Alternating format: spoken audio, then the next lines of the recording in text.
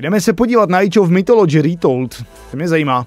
Age of Mythology Remake má konečně oznámení na Xbox Showcaseu a měl by být 9.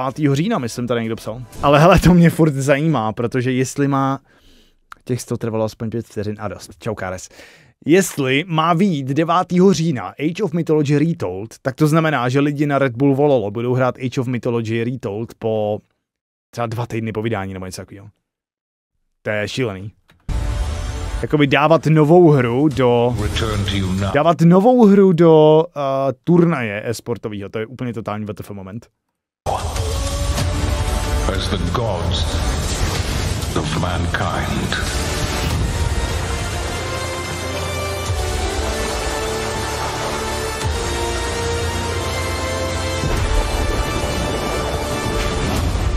rulers of the Greeks and the Norse.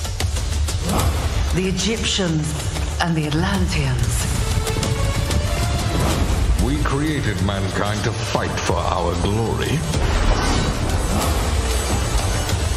So rise and wield my wrath.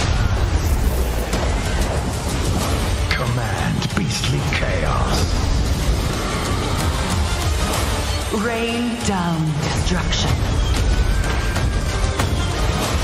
And unleash our fury. Worship me.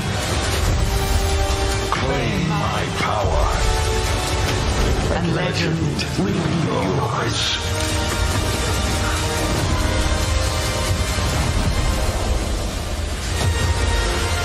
Zeus vypadá jak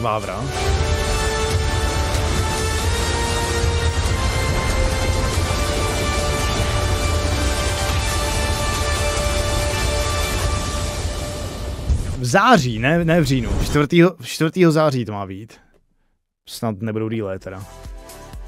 Ty vole, no, počkej, Age of Mythology, tady ještě ten trailer ve vyšším rozlišení, můžeme se na ještě jednou asi, I guess. To, to byl hrozný, hrozný hnůj, to byla zase kvalita, vole, jak z prdele.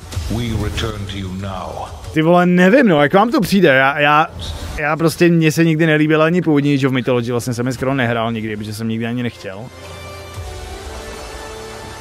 ale ty vole, jsem se to, přijde mi taky jako, jako rozpačitý, to je od vývojářů AOE, jo, to je prostě jak, jak máš Age of Empires 2 Definitive, Age of Empires 3 Definitive, a tak teď máš Age of, vlastně Age of Empires 1 ještě Definitive a tak máš Age of Mythology Definitive.